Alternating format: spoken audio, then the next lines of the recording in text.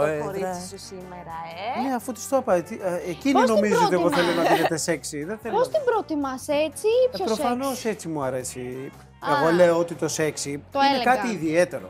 Δεν μπορεί να το φοράς κάθε μέρα το σεξι. Δεν έχει χάνει τη- το νόημα. Elegant. Μμμ. Elegant είναι άλλο πράγμα. Σεξι λέω εγώ. Ναι, ναι, ναι. Elegant, ε, cute, πώς τα λέτε εσείς Αυτά αυτά; είναι πιο πολύ cute. Ωραία. Δεν είναι elegant. Αυτά τα αντισήματα μπορείς να τα Ναι.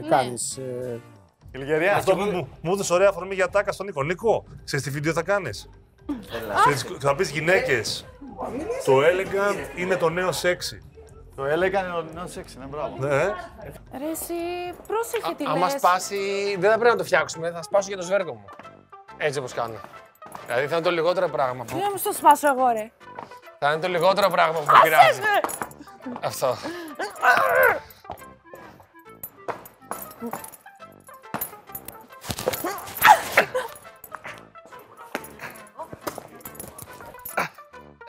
Τι κάνεις ο ψάρι.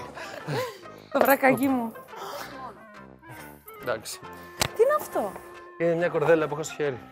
Έχεις ακούσει που λένε τρέλα με κορδέλα; Ε, έφερα την κορδέλα αυτή τη φορά. Την τρέλα ήταν αυτό στο σπίτι.